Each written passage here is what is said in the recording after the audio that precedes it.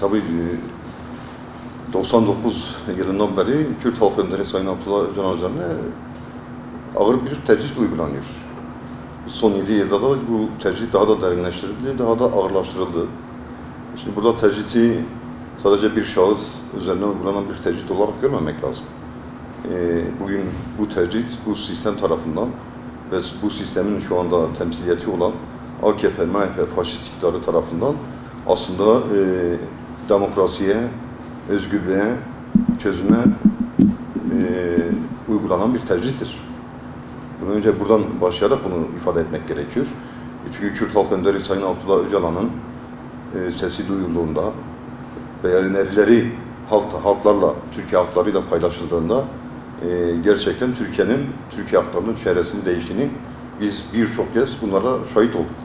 Yine ne zaman fırsat bulduysa da e, savaştan yana değil, çözüm noktasında ciddi emek ve çaba sarf eden bir politik şahsiyetten e, bahsediyoruz.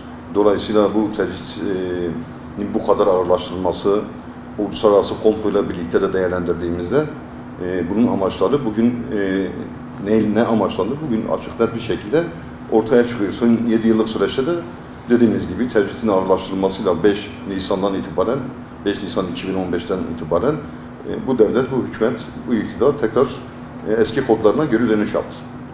Eski kodlara dönüş e, derken de şeyi kastediyor. Tekrar bir savaş, e, tekrar Kürt halkına yönelik ciddi anlamda e, hazırlanmış plan çerçevesinde çok yönlü bir yönelim söz konusu oldu. Bu yönelim bugüne kadar da devam ediyor ama başlangıç yerine baktığımız zaman tabii ki İmralı'dır.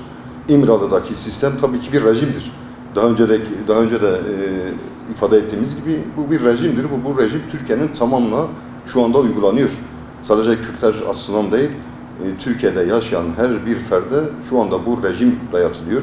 E, diktatörlük dayatılıyor, faşizm dayatılıyor, tekçilik dayatılıyor. İnsan insan insanın e, haklarına aykırı ne kadar uygulama varsa şu anda birebir Türkiye halkları e, yüz yüze yaşıyorlar. Ve başlangıç yeri de dediğimiz gibi İmralı'daki e, rejim şu anda tüm Türkiye 7 yıllık süreçte tüm Türkiye'de uygulanarak devam ediyor. E, bunu bu şekilde bu çerçeveden bakmak lazım.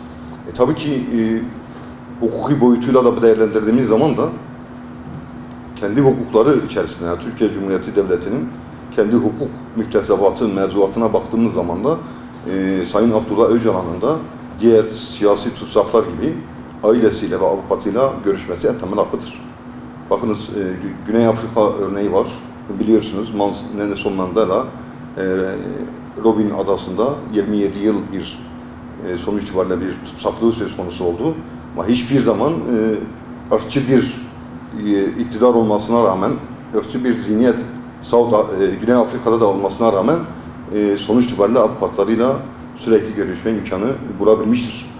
Veya diğer arkadaşlarıyla birlikte en azından e, kendi mücadele arkadaşlarıyla birlikte o adada tutulmuşlardır. E, Kürt Halk Önderi Sayın Abdullah Öcalan bundan bile mahrum ediliyor. E tabi bunu bilinçli olarak yapıyorlar. E, sebebini de başta bir söyledik. Burada hazırlamış oldukları plan çerçevesinde bir tasfiye, tasfiye planını genişleterek Kürtlere karşı, Kürt özgürlük hareketine karşı, Kürt siyasetine karşı devreye soktular. Ve bir şekilde de bu tercihi ağırlaştırarak biz, e, bizim amacımız şu, biz Kürt halkına seni unutturacağız.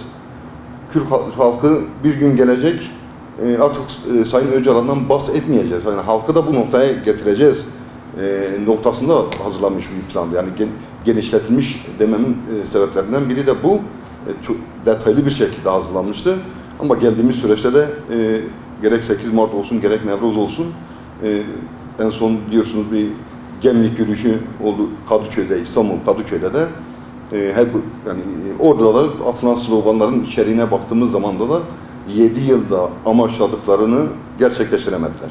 Tam tersine, tam tersine hala hala e, sadece artık Kürtler ve Türkiye halkları için değil, bugün Orta Doğu coğrafyası içinde Sayın Abdullah Öcalan'ın görüşleri var, önerisi var, bir paradigması var, bir anlayış öneriyor. E, bu anlayış tüm farklılıkları kapsayacak, birlikte yaşamın önünü açacak bir paradigmadır, anlayıştır. Kesinlikle e, bu anlayışı da, bu zihniyeti de hem Kürt, Kürt halkının duruşu hem de e, Kürt halk önderi Sayın Abdullah Öcalan'ın 99 yılından beri biz her ne kadar tecrit, tecritten bahsetsek de orada bir duruş, orada bir direniş var. E, bu direnişin de aslında e, Kürt halkının duruşuyla birlikte birleşince e, bu anlayışların tamamını boşa çıkartmış durumda. Yenilgiye uğratmış durumda. Bakınız o düşünceler yayılmasın diyorlardı. Yani Kürt halk önderinin e, düşünceleri yayılmasın diye böyle bir e, tecrite yol açtılar. Sebep oldular. Sorumluları kendileri, Avrupa devletlerini söylüyorum. E, Bugün Avrupa'nın tamamında e, Sayın Abdullah Öcalan'ın özgürlüğü için kampanyalar başlatıyor. Kürtlerle dayanışma kampanyaları var. Bugün kitapları İngilizce, farklı dillere çevrilip herkese herkesle paylaşılıyor ve o fikirler bugün Afrika'dan tutalım Avrupa'ya kadar Orta Doğu'nun tamamına yayılmış durumda. Ve bu fikirler, bu kitaplar, bu düşünceler okundukça da anlaşılırsa da gerçekten e, bir yol, bir alternatifin olabileceği halklar tarafından da, farklı inançlar tarafından da, farklı kesimler tarafında da görülmeye başlandı. E bu da bu kadar ağır tecrite rağmen şunu gösteriyor.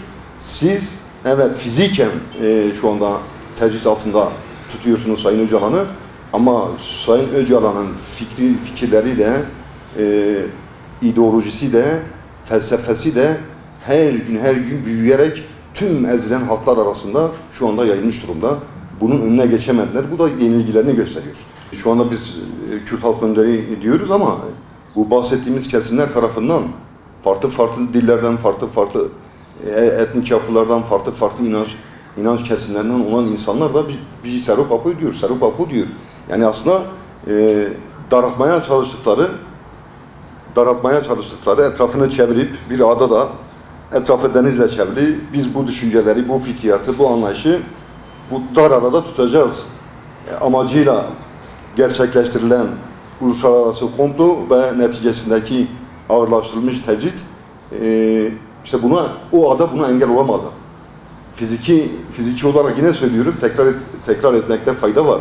Fiziken evet ama o düşünceler bir şekilde bir yol yol bulup insanlarla bulu- buluşabildi, halklarla buluşabildi. E, tabii hakikati hakikati siz e, hiçbir şekilde e, baskılayamazsınız, üzerini örtemezsiniz. Hakikat veya işte alternatif boyutundaki bir hakikat e, bir yolunu bulur, insanlarla, halklarla mutlaka buluşur. İşte buluştuğu içinde, yaygınlaştığı içinde bugün bir İngiliz'de, bir Fransız'da, bir İtalyan'da, bir Mısırlı'da, Libyalı'da e, kalkıp şu- şunu söyleyebiliyor. Evet, e, Sayın e, Öcalan'ın felsefesi bizler için kurtuluştur. Bizler için bir yoldur, bir çaredir. Bu çareye dört elle sarılmamız gerekiyor. Bu boyutuyla sorduğunuz soru boyutuyla sadece Kürt halk önderi olmaktan e, şu anda Sayın Öcalan çıkmış durumda. Tüm ezilen halklar tarafından bir önder, e, bir filozof olarak e, görülmektedir. Şunu söylemek lazım. Tabii e, Kürt halkı her bulduğu fırsatta Kürt halk önderi Sayın Abdullah Öcalan'la uygulanan tercihti kabul etmediğini, Kürt halk önderinin bu saatten sonra fiziki özgürlüğünün gerçekleştirilmesi gerektiği ve bunun için bedel vermeye hazır olduğunu da her dönemde Kürt halkı e, bunu dile getirdi. Ve bunun mücadelesini de verdi. Bunun en e, son örneği Gemlik yürüyüşü. Bunun örneklerinden biridir ama orada sadece Kürt halkı da değil.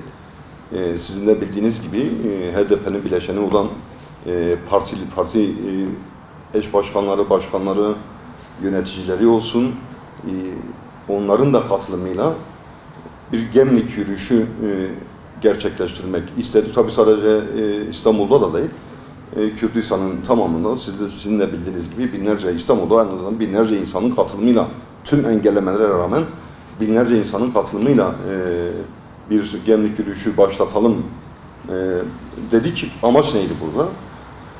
Amaç 7 yıllık neticede baktığımız zaman bakınız e, hiçbir fert Türkiye'de bugün özgürüm diyemez. Özgürüm diyemez. Demokratik bir ülkede yaşıyorum diyemez. Mümkün değil. Peki neden Türkiye bu duruma geldi? Bunun nedeni nedir? İmralı'da dedik ya tecrit ağırlaştırıldı, savaşta karar verildi ve savaşın neticesi şu anda çok yönü bunun etkileri var. Farklı farklı yönlerden toplumsal açıdan, siyasal açıdan farklı farklı yön- yönleri var. Ama sadece bir ekonomi ele aldığımız zaman tercihin ağırlaştırılması, sonrasında savaş, tabi savaş kararıdır o, bir, bir yönüyle de savaş kararıdır. Savaşın başlatılması ve ekonominin bugün bu duruma gelmiş olması. Peki savaşa gerek var mıydı? Savaşa gerek yoktu. Tabii ki gerek yoktu. Bunun örneği var. Bunu defalarca biz örnek olarak verdik. 2013 ile 2015 yılları arasında yapılan görüşmeler var. İki yıllık süreçtir. İki yıllık 24 ay diyebiliriz ya da 24 aydan fazla az. Sonuç itibariyle Türkiye halkları da e, iki yıllık süreçte aslında bunun diyalogla, müzakereyle, masa başında çözülebileceğini gördü ve bu görüşmelerin neticesinde de olumlu oluşan olumlu havaya da baktığımız zaman e, evet bu savaşa gerek yoktu. Ama iktidarlar iktidarlar yine milliyetçi, Kürt düşmanlığı, Kürt düşmanlığı üzerinden hayır. Biz barışmayacağız. Biz bir şekilde ezeceğiz, diz çöktüreceğiz. Ee, bir şekilde kendi şartlarımızı Kürtlere kabul ettireceğiz. Yani kendileri eşit şartlarda bir müzakereyle değil, hayır. Biz vuracağız, öldüreceğiz, katledeceğiz. Belli bir noktaya geldikten sonra biz masaya şartlarımızı Kürtlere dayatacağız ve Kürtler kabul edecek. Bu hesabı yaptılar, tutmadı. E bu hesap tutmadığı zaman Kürtler, Kürt halkı diren, direnişle bu, bu e, saldırılara karşı cevap olduğu zaman da işte dediğimiz gibi sadece sadece ekonomi bir boyutudur. E, belirttiğim gibi özgürlük de demokrasiden de bugün e, bir fikir, bir düşünce, bir eleştiri bile e, dile getirmenin dile getirmenin e, suç olduğu bir ortama ortamda şu anda yaşıyoruz. Tecritin bu boyutudur, bu tecrittir. Bu tecrittir. İstanbul'da, Hadiköy'de verilen mesaj da buydu. Yani her her yer İmralı, her yer direniş sloganı. Yani İmralı'da başlayan bir evet tecrit var ama İmralı'da dediğimiz gibi Sayın Abdullah Öcalan'ın e, çözüme yönelik, geleceğe yönelik fikir, düşünceleri var. Bu fikir, düşünceler de artık açık, net bir şekilde görülüyor. Ama bir direniş de var. Belirttiğim gibi yine. Bu fikirleri ve düşünceleri e, kendisi de İmralı Adası'nda bu zihniyete, bu devlete, bu sisteme karşı e, direniş göstererek bu fikirleri savunuyor. Bunu, bu da görülüyor. O yüzden atılan sloganlar çok önemliydi ve çok anlamlıydı. Çünkü gerçekten her yer tecrite dönüştürülmüş durumda. Hani bir İmralı tecritinden artık e, bahsetmemek gerekiyor. Tüm Türkiye'ye, Türkiye halklarına uygulanan bir tecrittir.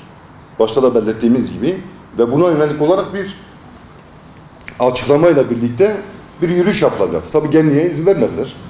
E, mutlaka ama e, e, Gemli'yi de zaten kuşatma altına almış durumdalar. E, ama sonuç itibariyle bir açıklamaya bile tahammül edilmedi. İçişleri Bakanı'nın yani suç suç örgütü lideri kişiliğindeki bir şahsiyetin talimatlarıyla bütün bütün insanlarımıza, bütün o katılımcılara saldırılar düzenlendi, darp edildiler.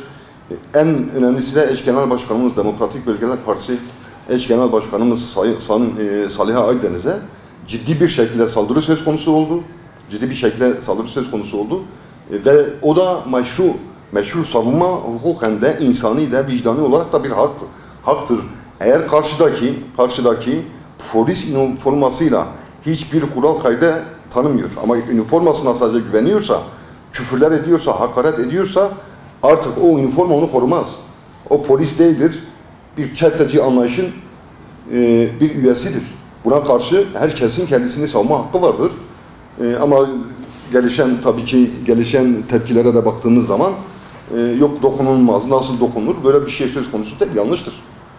Burada bir milletvekiline bir de Diyarbakır milletvekilidir. Hem de dediğimiz gibi Bölgeler Partisi'nin eş genel başkanıdır. E, bütün saldırılar gerçekleştirilecek. Ki o kendisini savunma mecburiyetinde kalacak. Ama siz kalkacaksınız polisimize. Bu devletin anlayışıdır. Bu sistemin anlayışıdır. Bu Soylu gibi bir çete liderinin anlayışıdır. Kürt düşmanlığının, Kürt düşmanlığı anlayışıdır. Kürt sorununda çözümsüzlüğün anlayışıdır. Bununla bugüne kadar bir yere gelinmedi, bir, bir yere de gidilmez. Bu anlayışla bir yere gidilmez. Bunlar çözüm olmaz. Bu yanlıştır, bu yanlışlar ısrar edilmemesi gerekiyor ama bütün bunlara rağmen Gemlik'te HDP'nin bileşenleridir, DBP'dir, HDK'dir ve biz DTK, TC olarak e, ciddi anlamda bir mesaj verildi. Net mesaj. Net mesaj şudur, çözüm, çözüm Öcalan'dır. Bakınız, çözüm onun fikriyatıdır. Siz çözüm yerine kan, gözyaşı ve acıdan başka, faşizmden başka bir şey getirmediniz ülkeye. Ve bunu yaparken de ülkenin tüm kaynaklarını, tüm kaynaklarını yandaşlarınıza, çevrenize peşkeş çektiniz. Tüm kaynakları dışarıya peşkeş çektiniz. Yani bir nevi Türkiye'nin geleceğini kararttınız. Ha, sizden sizden bir aydınlık olmaz. Sizle sizle birlikte bir düz yola çıkılmaz. Ama nedir? Bakınız yıllardır 99 yılından beri siz İmralı Adası'nda tutuyorsunuz. Ama bakın hiç değişen bir şey olmadı. Değişen, değişmeyen şey nedir? Yine çözümdür, çözüm önerileridir. Bakınız somuttur. Sadece bir söylem değil, somuttur. Somut önerilerdir. Ve Türkiye, Türkiye halkları ve Kürtler açısından ve Türkiye halkları açısından e, gerçekten e, çözüm çözüm adresinin İmralı Sayın Abdullah Öcalan olduğu vurgulanmış oldu. Bu kadar seneden sonra, bu kadar saldırıdan sonra net bir şekilde ifade edildi. Ya, tabii bu tür yaklaşımları biz doğru bulmuyoruz. Ee, Sayın Abdullah Öcalan'ı bu şekilde ara- araçlaştırmaya çalışıyorlar. Bu mümkün değil. Biraz bunu bir hadsizlik olarak da görüyoruz. Yani eğer gerçekten e, bırakın ya ben düşünce olarak söylemiyorum. Hukuku savunuyorsanız zaten bugüne kadar bu ağır tecrit uygulanıyorken kendi hukukunuza da belirttiğimiz gibi e, aile ve avukat görüşü hakkı varken, telefonla görüşme hakkı varken siz bu haklar niye verilmiyor diye bir tepki göstermiyorsunuz. E, tabii bazı sıkışmışlıklar veya bazı beklentiler yaratabilmek adına bazı beklentiler oluşturmak noktasında hemen bu tür şeyler ortaya atılıyor. Zaten yapmanız gereken şey bu. Normal olan şey sizin bunu yapmanız. Bunu bu şekilde gündemleştirmek dediğim gibi e, e, Sayın Öcalan'ı araçlaştırmaya çalışmaktır. Sayın Öcalan kendisi de defalarca bunu e, dile getirmiştir. Ben katkı sunmaya hazırım ama ara, araçsallaştırma olayına kesinlikle hayır demiştir. Bunu kabul etmem. Bunu kabul etmediğini defalarca kendisi de ifade etmiştir. Dolayısıyla bu tür e, e, bu tür beyanlar, bu tür hem ciddiyetsiz hem ciddiyetsiz buluyoruz hem de hadsizlik olarak görüyoruz. Milyonlarca insanın milyonlarca insanın e, önderimizdir, liderimizdir dedi- dediği bir insana e, siz bu kadar ağır tecrit uygulayacaksınız. E, Gemlik'teki tepkileri gördükten sonra tabii ki etkisi oldu. Çünkü birbiriyle bağlantılıdır. Çoğu şey birbiriyle bağlantılı. E, Kürdistan'ın tamamında yapılan açıklamalar, duruş etkili oldu. Ama zaten yapmanız gereken şey bu. Ama biz bunun bu- bir adım ötesine geçilmesini savunuyoruz ve bunun mücadelesine veriyoruz. Bir adım ötesi nedir? Artık tecrit, tecrit e, sadece avukatlarla görüşülsün, sadece aileyle görüşülsün, telefon hakkı olsun demiyoruz. Fiziki özgürlüğünün rol ve misyonu oynayabilmesi için Sayın Öcalan'ın fiziki özgürlük koşullarının oluşturulması gerekir. Kürt halkının verdiği mesaj budur. Nevruz alanları bu mesajı verdi. 8 Mart alanları bu mesajı verdi. Açık, net bir şekilde yoruma yoruma yer bırakmayacak şekilde bu mesajlar verildi. Dolayısıyla buralardan bir şey bunları ortaya atarak beklenti yaratarak biz buradan bir şey f- fayda sağlayalım, nemalanalım bu e, faydalanma da söz konusu olmaz. Bu mümkün değil. Ama bu tür e, açıklamalarda e, tekrar etmiş olayım hadsizliktir bu kadar önemli bir şahsiyete karşı, bu kadar önemli bir sorunun Kürt meselesinin Kürt meselesinin çözümünde çözümündeki en temel aktöre böyle ciddiyetsiz bir yaklaşım aslında Kürt meselesine yaklaşımdır. Kürt'e yaklaşımdır. Türkiye'deki sol sosyalist, demokrat ve muhafazakar kesimlere yani Türkiye'nin tamamına olan yaklaşımdır. O yüzden e, ciddiyetsiz bir yaklaşımdır. E, bu yaklaşım tarzını kabul etmiyoruz. Derhal zaten e, avukatlarıyla da dediğimiz gibi ailesi de e, görüştürülmelidir. Bu onun en doğal hakkıdır. Tutsak olarak e, tutuyor olabilirsiniz ama yasalar tüm tutsaklara, siyasi tutsaklara bu hakkı veriyor. Bunu önce e, belirtmek gerekiyor. E, buradan dediğim gibi bir mücadele var, halkın talebi var. E, 8 Mart'tan, Nevruz'dan ta Gemli'ye kadar e, dediğim gibi yani çözüm olarak çözüm olarak adresin yerini halkımız işaret ediyor. Adresi gösteriyor. Yapılan e, şeyler e, ne yapıldı? Tabii Güney Kürdistan olayını biz biliyoruz. E, oranın işgal girişimleri.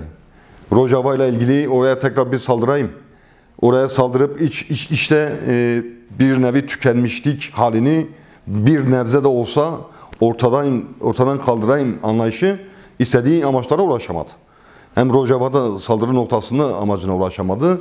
Hem de tabii ki Güney'in işgalinde e, istediklerini elde edemeyince e, ne yapıyorlar? İçe dönük olarak ne yapabiliriz? E, yani bu hem bu tür söylemler hem saldırıları yoğunlaştırarak e, o milliyetçi kesimlere yönelik olarak vermek istedikleri mesaj, e, onları tekrar bir araya getirip kendi saflarında bir araya getirip e, seçimlerden, önümüzdeki seçimlerden bir başarı e, elde etme amaçları var.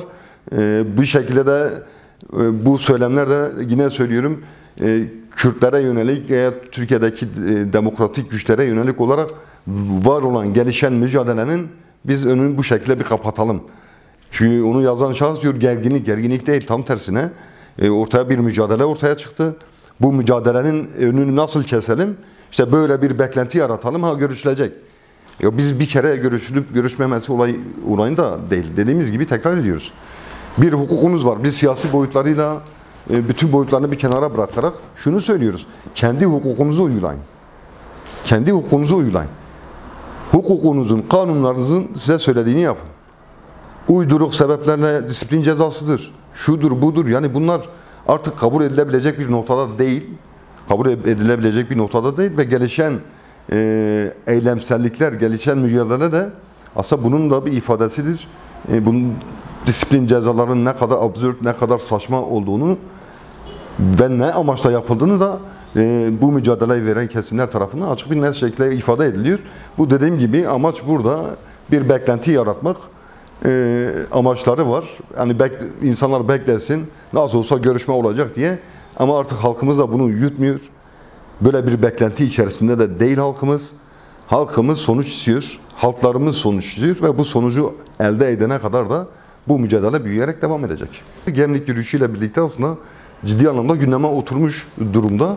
Ama bu noktadaki mücadele her zaman vardı. Ee, yani Gemlik'ten önce de vardı ve Gemlik'ten sonra da bu mücadele devam edecek. Dediğimiz gibi çözüm e, çözüm istiyorsak, e, huzur istiyorsak, birlikte yaşam yaşayacaksak e, bunun yol yöntemi e, belli, müzakere ve diyalogtur. E, burada da muhatap belli, Sayın Abdullah Öcalan e, dolayısıyla bu işi uzattıkça da yani bu savaşı uzattıkça da bedeli tüm Türkiye halkları açısından ağırlaşıyor. Ağırlaşmaya devam da edecek. Eğer bu faşist anlayışa, bu teki ırkçı anlayışa dur denilmezse, bakınız dur denilmezse, dur diyecek olan da zaten biz e, bunun değişmesi için mücadele ediyoruz. E, dur diyecek olan da tüm Türkiye halklarıdır.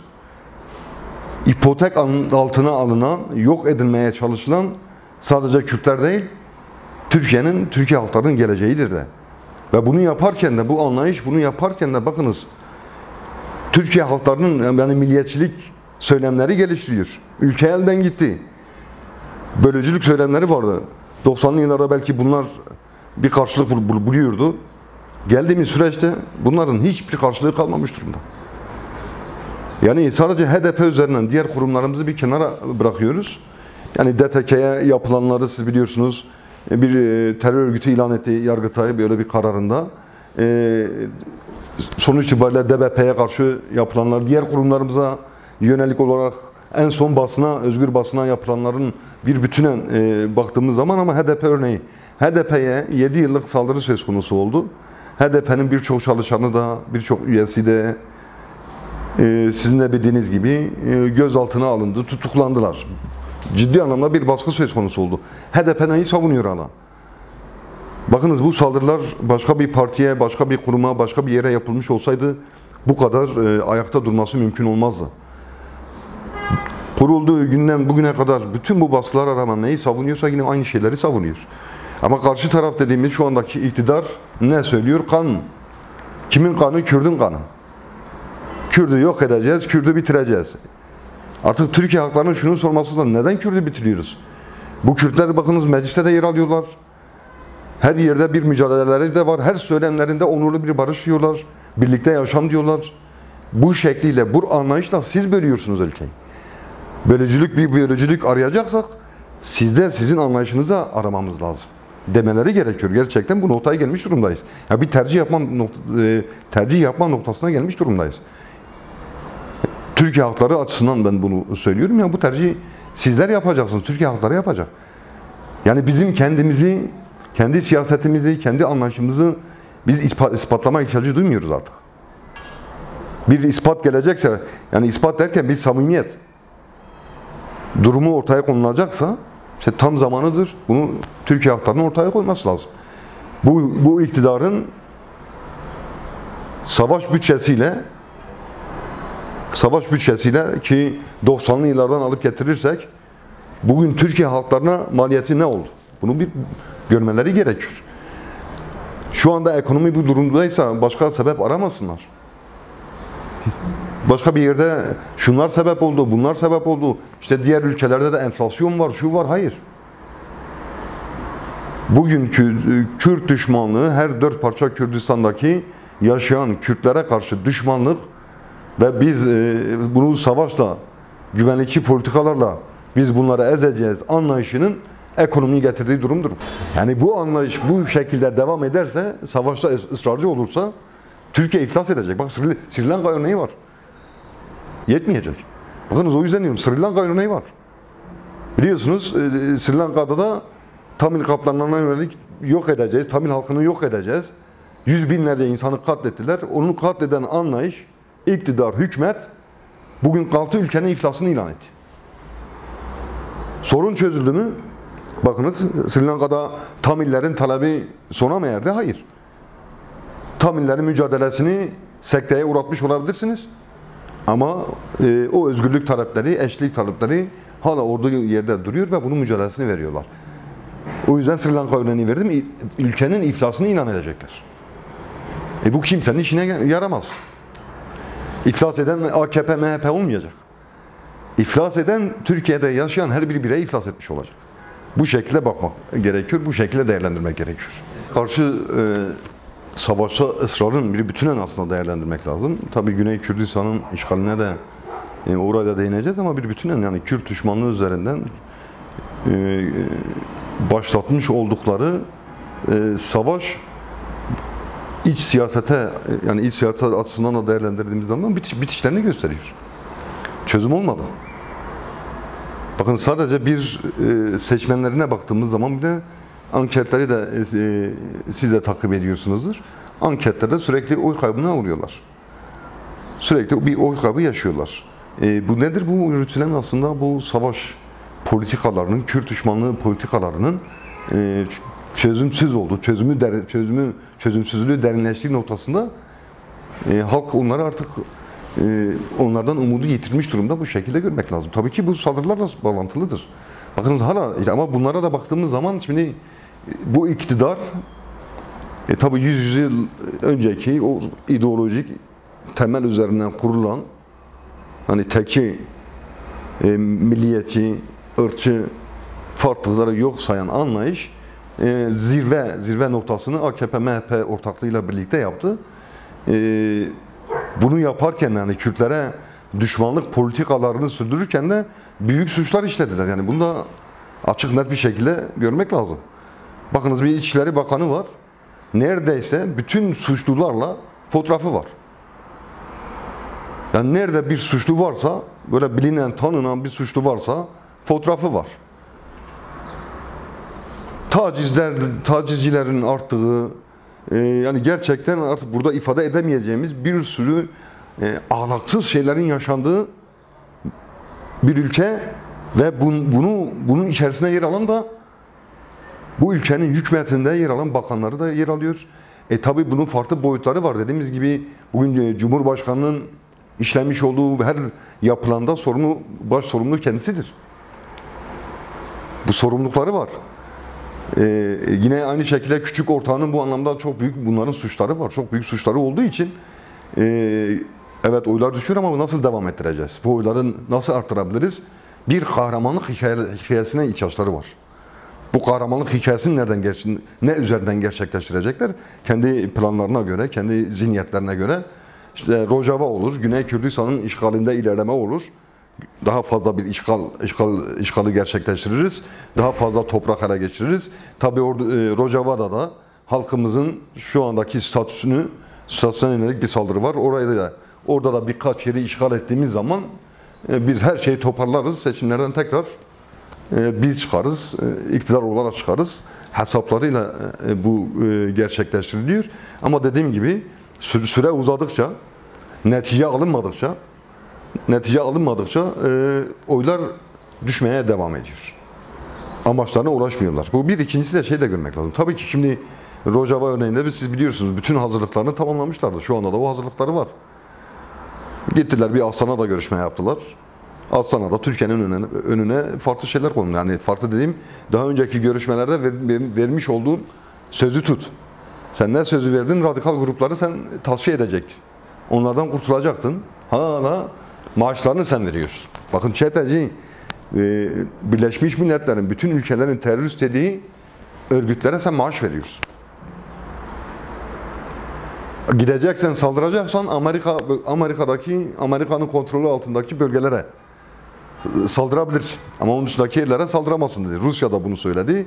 Rejim de bunu söyledi. Suriye de bunu söyledi. İran da bunu söyledi. E tabi Amerika'da bugüne kadar biliyorsunuz İsveç, Norveç üzerinden e, farklı şey pardon İsveç ve Finlandiya üzerinden e, NATO üyelikleri noktasında şantajlarda bulunuyor ama bugüne kadar Amerika muhatap olmuş durumda değil. E, tabii oranın bir de şey de oranın bir de kendi gücü, öz, öz gücü de e, söz konusu, duruşu söz konusu. Hem parti olsun hem diplomasi alanında olsun. E, Rojava'nın da sonuç itibariyle bir yönetimi var. Bu yönetimin de duruşu e, o savaş e, isteklerini kursaklarında şu anda bırakmış durumda. E, Güney Kürdistan açısından da e, tabii bu şey de yani PDK olayı da KDP olayını da bu şekilde değerlendirmek lazım. Bütün KDP'lileri değil en azından şu anda yönetiminde olanlar e, tabii ki bölge hükümetinin baş soru hani baş sorumlusu onlardır bu ortaklaşmanın baş sorumluları onlardır.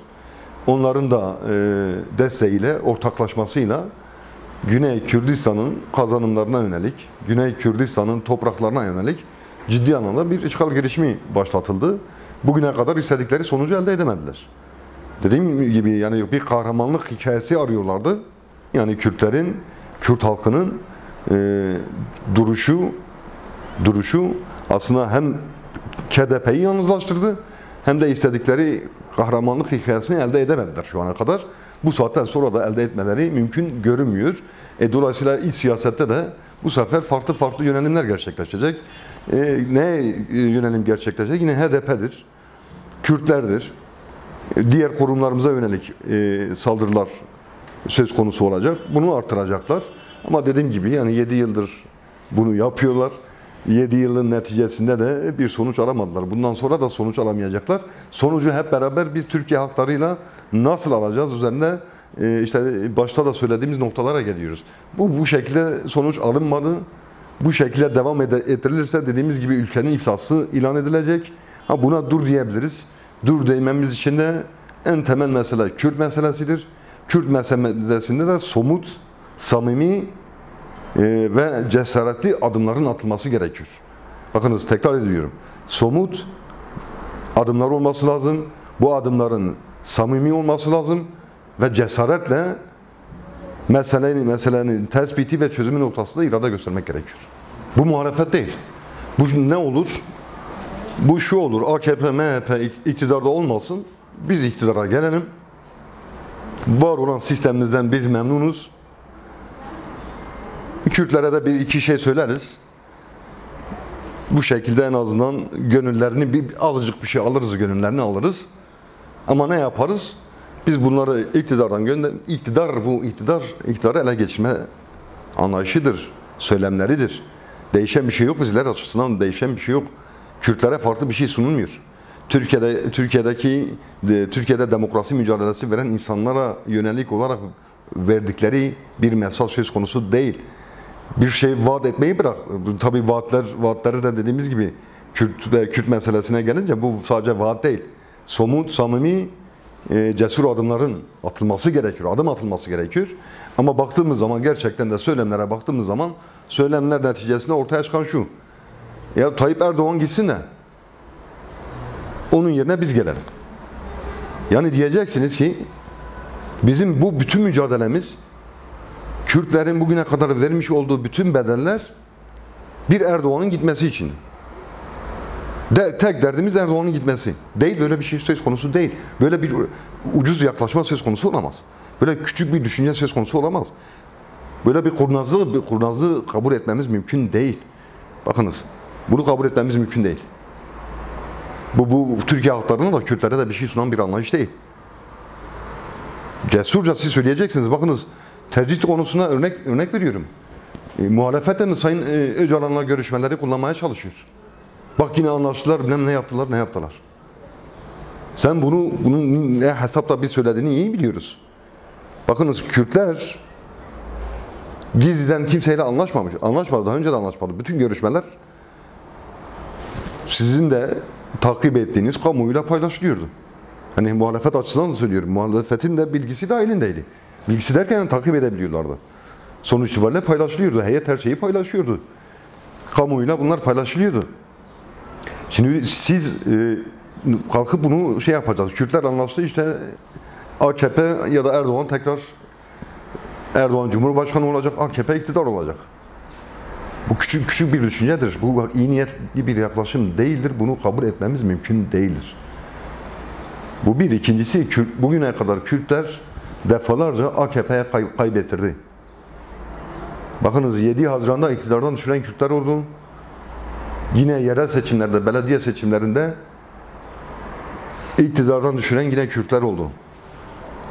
Biz burada bir bu bahsettiğimiz gibi ciddi büyük bir meseleden bahsediyoruz. Kürt meselesi var. Kürtler bir iktidara CHP gelsin diye bir mücadele vermediler. Bugün ülkenin geldiği durumdan açıkça siz kalkıp bunu samimiyetle söylemeniz gerekiyor. Tezkerelere onay vermeyeceksiniz. Bakınız. Demokrasi diyeceksiniz. Özgürlük diyeceksiniz. Eşitliği vaat edeceksiniz. Rojava için tezkereye evet diyeceksin.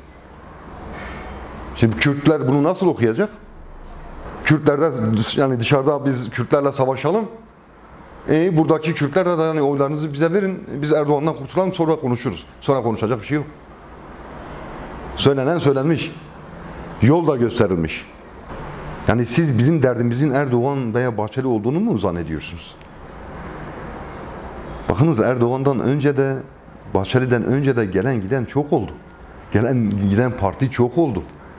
Biz o partilerle değil, o partilerin temsil ettiği bu sistemle mücadele veriyoruz. Çünkü bu sistem kuruluşundan bugüne kadar Kürdü yok saydı. Kürdü yok saydı. Bizi yok sayan bir sistem var. Siz bu sistemi değiştirecek misiniz, değiştirmeyecek misiniz? Yani beraber bunu değiştirecek miyiz, değiştirmeyecek miyiz? Bunu bunu bir kere söyleyeceksiniz. Bir. İkincisi, bakınız siyasi anlamda da yine söylüyorum. Bir, bu altı partiden İyi Parti zaten şeyden bir farkı yok. Ee, biz onu da görüyoruz. Yani MHP'nin MHP'den kopanların e, e, gittiği bir partidir İyi Parti. Meral Akşener'in söylemlerinden de açık net bir şekilde bunu görebiliyoruz. Ee, ama CHP'nin bir iddiası varsa veya diğer partilerin bir iddiası varsa bir kere hukuk ayaklar altına alınıyor. Kanun ayaklar altına alınıyor. Siz bunu bu şekilde kullanacağınıza Kürtler anlaştı falan de, yani bu tür söylemleri geliştireceğine ki önünü açmalısınız ki sizlerin gidip görüşmesi lazım. Madem iktidarın iktidarın bu şeyinden rahatsız iktidardan talep edin siz kendiniz de gidip görüşün. Tabii ki. Sayın Abdullah Öcalan'a gidip görüşün. Bunu siyaset malzemesi yapmayın. Araçsallaştırmayın. Siz böyle yaklaştıkça mesele daha da derinleşiyor. Siz böyle yaklaştıkça size olan inanç yoktu. Azıcık bir inanç gelişmişse bile o yerle bir oluyor. Yani bu açıdan e, bu söylemler değil. Bir, kendi hukukunuzu bir, bir muhalefetim diyorsanız, ülkede hukuku kanunları savun- savunuyoruz diyorsanız, önce diyeceksiniz ki iktidara, kendi kanunlarınızı uygulayın. Avukatlarıyla, ailesiyle niye görüşmüyor? Bu söylemi, bu söylemeyi söylemek size zarar vermez. Niye zarar vermez? Siz kendi hukukunuzu savunmuş oluyorsunuz. Kendi kanunlarınızı savunmuş oluyorsunuz. Fazladan bir şey söylemiyorsunuz. İktidarın görüşmesinden veya devletin görüşmesinden rahatsızsanız talepte bulunun ki siz de gidin görüşün. Varsa sorularınız, kafanızda bir şeyler varsa meseleyle ilgili önerileriniz varsa siz niye sunuyorsunuz? Bu, bu imkanı zorlayacağınıza kalkıp devletle anlaştılar, AKP ile anlaştılar. Bu dediğim gibi e, bu yaklaşımı da bizim kabul etmemiz mümkün değil. E, Türkiye'nin Türkiye'nin geleceğiyle ilgili bir adım atılacaksa ve gerçekten bakınız muhalifim diyorlarsa çünkü bu muhalefet değil bu bir iktidar yarışıdır. Yani bu Türkiye'yi değiştirip dönüştürmek noktasında kararlı bir duruşu sergilemiyor. Burada biz yine tekrar tekrar edeyim e, Demokratik Toplum Kongresi olarak söylediklerini biz şu şekilde yine algılıyoruz. Diyor diyorlar ki hani Erdoğan AKP gitsin biz gelelim biz devam ettireceğiz. E yani biz de buna müsaade etmeyiz. Biz de bunu kabul etmeyiz. Bunu açık, net, yoruma yer bırakmayacak şekilde sizin vesilenizle bir kez daha biz buradan ifade edelim, söyleyelim. Bakınız HDP'nin HDP'nin Eylül ayında 11 madde 11 başlık açısından bir duruş, bir duruşun nasıl olması gerektiği noktasında bir deklarasyon yayınlandı. Bu ilkeler noktasında bir tartışma yürütülmesi gerekiyor. Yani bu ilkeler de bizi çözüme götürecek başlıklardır. Bu başlıkları açıp bu başlıkların e, altını doldurup o şekilde HDP'nin yanında da yer durarak bu arada HDP'nin yanında da yer durarak yer alarak ben altılı masaya katılım anlamında demiyorum. HDP'nin o 11 ilkesi ve bizim özgürlük, demokrasi, eşlik dediğimiz üçüncü yol. Yani e, Türkiye'nin kurtuluşu, Türkiye halklarının kurtuluşunun emekçilerin, kadınların, gençlerin bütünen bir Türkiye halklarının özgür olabileceği üçüncü yoldur. Üçüncü yolda ortaklaşmak gerekiyor. HDP'nin masaya oturması anlamında ben söylemiyorum. Çünkü o masa farklı şeyleri var, hesaplar var. O yüzden HDP üçüncü yol. Yani farklı bir şey sunmuyorlar. Ne Türkiye demokrasi güçlerine, ne emekçilere, ne de Kürtlere sundukları bir şey var. E, şunu da en son ifade edeyim. Böyle Ahmet'e, Diyarbakır'a gelip gitmeyle, bir iki kelam etmekle bunlar olmaz. Bunlar kabul edilmez. Bakınız yine Saliha Aydeniz, eş başkanımıza, genel başkanımıza e, bir CHP'nin sözcüsü polis polisi savunuyor. Ki polis hukuka, kanunlara uygun olsa, milletvekili saldırmış olsa o ayrı bir şeydir. Bakınız hiçbir kade kurala uymuyorlar. Devlet bizi izliyorlar. Üniformalarıyla her türlü hakareti, saldırıyı yapıyorlar. En son da Deva Partisi milletvekiline de yaptılar biliyorsunuz. Kalkıp hep bir ağızdan polisimizin de kimse dokunamaz. Senin güvenlik kuvvetleri dediğin daha Van'da birkaç gün önce sizin de bildiğiniz gibi bir mezrada bir vatandaşımızı, bir insanımızı gözaltına alırken o görüntüleri herkes bir izlesin bakalım. Hangi hukuka uyuyorlar? Hangi kanuna uyuyorlar? Hangi kaydaya uyuyorlar? Siz kalkıyorsunuz bu, bu, bu tür yaklaşımları savunuyorsanız bizim için Çiller, Erdoğan sizinle bir farkınız olmaz. Size gereken cevabı da eğer bu duruşta ısrar ederseniz e, size gereken cevabı da bizler vereceğiz. Kürt halkı verecek. Bu süreçten bu süreç ve sonrası. Tabii bunların pratiği aslında üçüncü yolu teoriden çıkartıp pratikte umut olmasına yol açtı. Pratikte umuttur evet. Bir seçenektir var.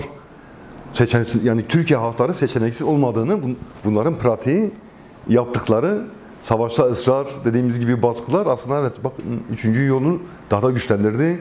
Ona olan inancı güçlendirdi. Yani halkların umudunu bugün büyüten üçüncü yoldur bir gelecek bir gelecek umudunu aslında e, diri tutan, güçlendiren üçüncü yoldur. E, bunu bu şekilde değerlendirmek e, gerekiyor. Daha da güçlüdür evet. Yani umut olabilecek olan üçüncü yoldur. Türkiye'nin çevresini, Türkiye halklarının geleceğini değiştirip dönüştürecek olan üçüncü yoldur. Onun dışındaki yaklaşımlar e, yani bundan öncekilerin akıbeti ne olduysa e, bugünküler daha kötü durumdalar. Yani şu andaki iktidar geçmiştekilerden daha kötü durumda ve bun, bun- bunların yolundan gitmekte ısrar edenler de şu andakilerin durumundan daha kötü bir duruma düşecekler. Bunu e, açık net bir şekilde altını çizerek ifade edebilirim. Ama biz diyoruz, biz diyoruz, savunuyoruz. Yani söylemle de bırakmadık, pratikle de görüldü. Evet, üçüncü yolda buluşuruz. Üçüncü yol e, çözüm olabilecek olan üçüncü yoldur. E, aydınlığa bizi götürecek olan üçüncü yoldur. Onun dışında e, farklı bir e, yol yöntem boşuna kendinizi yormayın. Var zaten. Olanla da ortaklaşıp e, birlikte gerçekten e, demokratik bir Türkiye kurabilelim. Özgür bir Kürdistan'ı beraber inşa edebilelim. Demokratik Türkiye derken tabii Kürtler de eskisi gibi değil. Bu mümkün değil artık bu saatten sonra. Kürtler özgür olacak.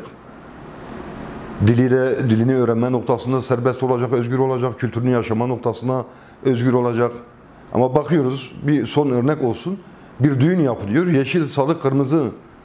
Sonuç itibariyle bizim ulusal renklerimizdir. Damat veya oradakiler gözaltına alınıyor. Tutuklama gerçekleştirilebiliyor. Siz buna ne diyorsunuz? Bir düğünde bunlar yapılıyor. Buna karşı bir söylem geliştirilmedikten sonra veya işte Van'daki olaydan dolayı bir söylem geliştirilmedikten sonra 16 tane özgür basından 16 kişinin hiçbir gerekçe, hiçbir dosyada hiçbir şey olmamasına rağmen bu şekilde tutuklamalar gerçekleştirildiği zaman güçlü bir şekilde ses çıkartamıyorsanız sizin Türkiye'nin geleceğine yönelik olarak söyleyebileceğiniz bir şey söz konusu olmaz. Ama e, dediğim gibi bizim bizlerin bizlerin yani e, HDP, HDP bileşenleri ve Demokrasi İttifakı'nın yani üçüncü yolda birleşecek, omuz omuza mücadele edecek olanların Türkiye'ye, Türkiye halklarına sunacakları çok şey var. E, Bu artık görülüyor da dediğim gibi. E, tek yol da bu. Bunun dışında farklı yol ve yöntemleri kabul etmek mümkün değil. Yani bugünümüz üçüncü yolun dönemi. Gelecek gelecek için umudu büyüt, büyüten de e, üçüncü yolda hep birlikte omuz omuza yürüyüşümüz geleceğimizi de belirleyecek. Yani üçüncü yoldaki yürüyüşü ne kadar biz güçlendirirsek o, o şekilde geleceği de sağlam bir şekilde hep beraber inşa etmiş olur. Aydınlık bir geleceği hep birlikte o yolda biz e, o yolda inşa etmiş oluruz.